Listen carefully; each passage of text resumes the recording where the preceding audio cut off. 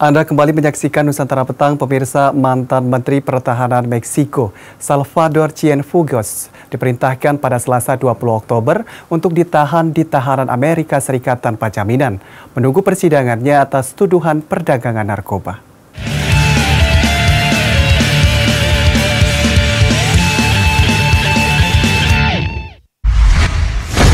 Salvador Cienfuegos Cepeda Seorang hakim Amerika Serikat memerintahkan Cienfuegos 72 tahun dikirim ke New York untuk proses lebih lanjut.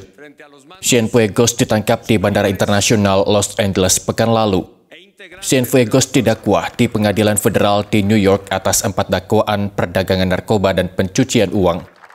Jaksa federal mengatakan dia menerima suap sebagai imbalan untuk perlindungan bagi anggota kartel narkoba termasuk memperingatkan mereka tentang penyelidikan Amerika Serikat. Cienfuegos belum mengajukan pembelaan atas dakwaan tersebut.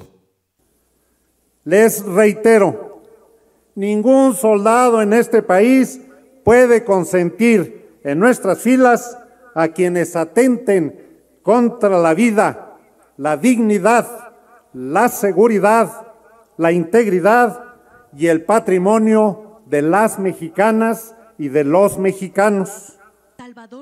Penangkapan Cienfuegos yang dijuluki El Padrino atau The Good Father dalam dakwaan Agustus 2019 menandai pertama kalinya seorang mantan Menteri Pertahanan Meksiko didakwa dan ditahan. Dari Meksiko, kontributor Nusantara TV melaporkan.